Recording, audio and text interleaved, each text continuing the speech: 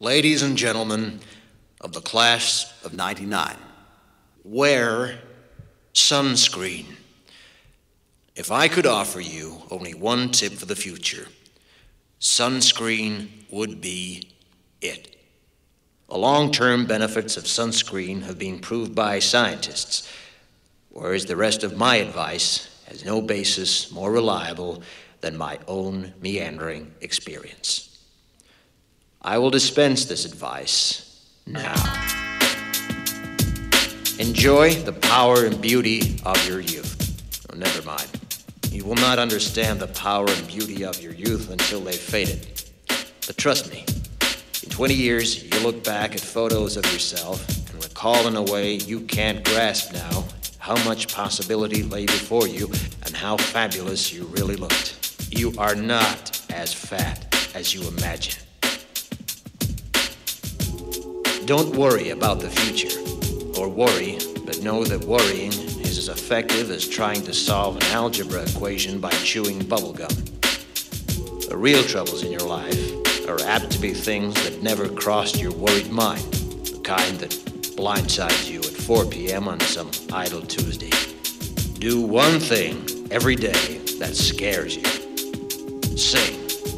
Don't be reckless with other people's hearts don't put up with people who are reckless with yours. Floss. Don't waste your time on jealousy. Sometimes you're ahead, sometimes you're behind. The race is long, and in the end, Tony with yourself. Remember compliments you receive. Forget the insults. If you succeed in doing this, tell me how. Keep your old love letters throw away your old bank statements.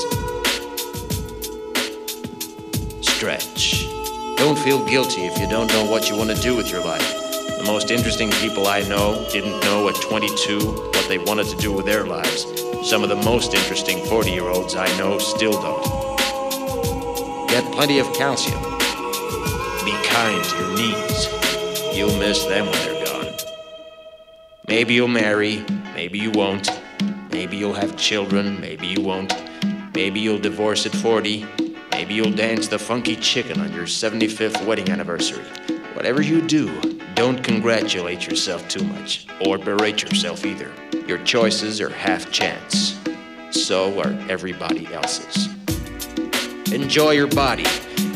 Use it every way you can. Don't be afraid of it or what other people think of it. It's the greatest instrument you'll ever own.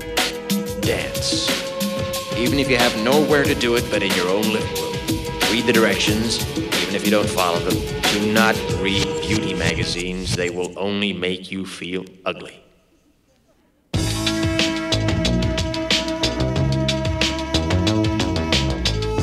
Get to know your parents. You never know when they'll be gone for good. Be nice to your siblings.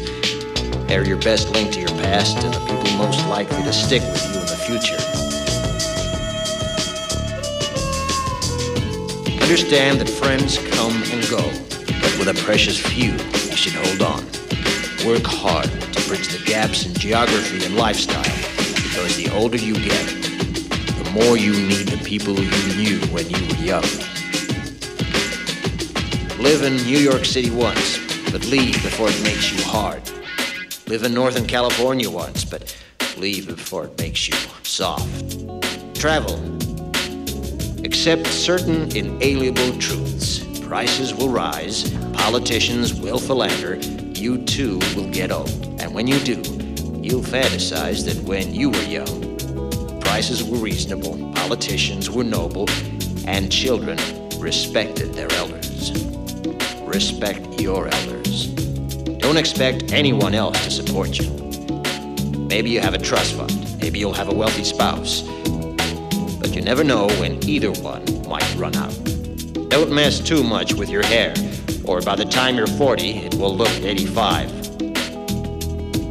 Be careful whose advice you buy, but be patient with those who supply it. Advice is a form of nostalgia. Dispensing it is a way of fishing the past from the disposal, wiping it off, painting over the ugly parts, and recycling it for more than it's worth. But trust me, on the sunscreen.